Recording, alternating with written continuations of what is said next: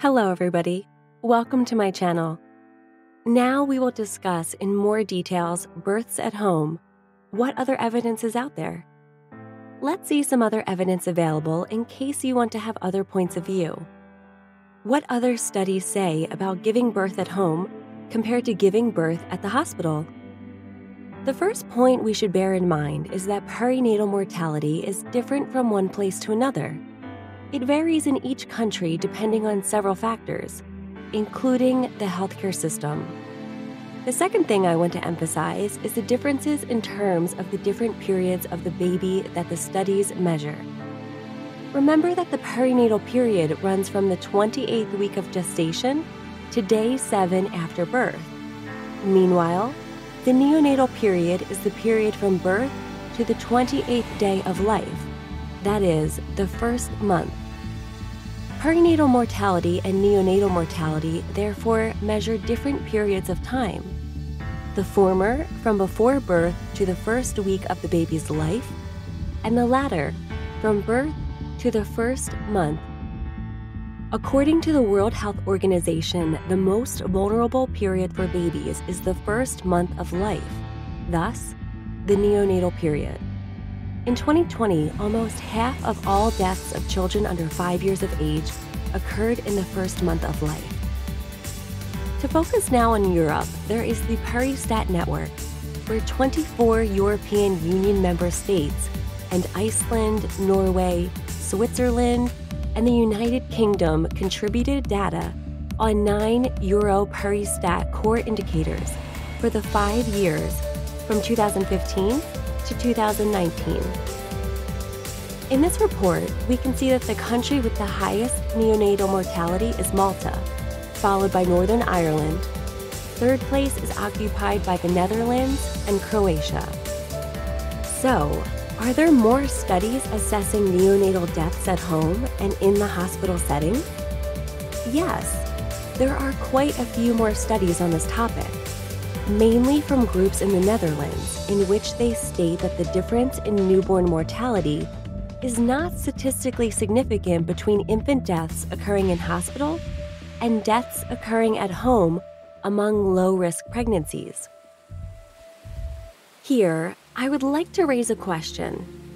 Does it make sense to look for a statistically significant difference when a death is preventable, avoidable?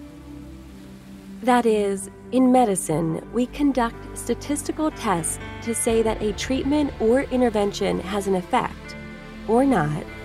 But in this case, the death of a human being could be avoided in a hospital because, among other things, one has immediate access to oxygen, a venous line to administer medication, and an ICU or operating theater.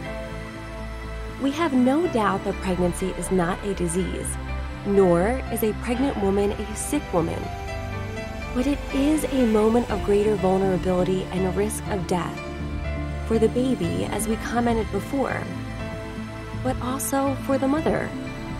Being in a hospital gives one at least the possibility of being close to life saving treatment. In the Dutch maternity care system, where up to one fifth of women give birth at home, around 20% of all women in labor planning a home birth will be transferred to the hospital. And in the case of nulliparous women, the transferring will reach up to 40%. Nulliparous women are those who have not previously had a baby, and it has been reported that they can present a greater risk of complications during labor. Other studies in England conclude that neonatal deaths are higher at home than in hospital. Nonetheless, it is often said that mortality depends on whether the health system offers more extensive services to women who want to give birth at home, and also on the presence of a skilled birth attendant. Whatever the reason, the fact is that one of the countries with the highest number of home births the Netherlands, has one of the highest perinatal mortalities in Europe. This is no longer a question about comparing groups of women who want to give birth at home or who want to give birth in hospital.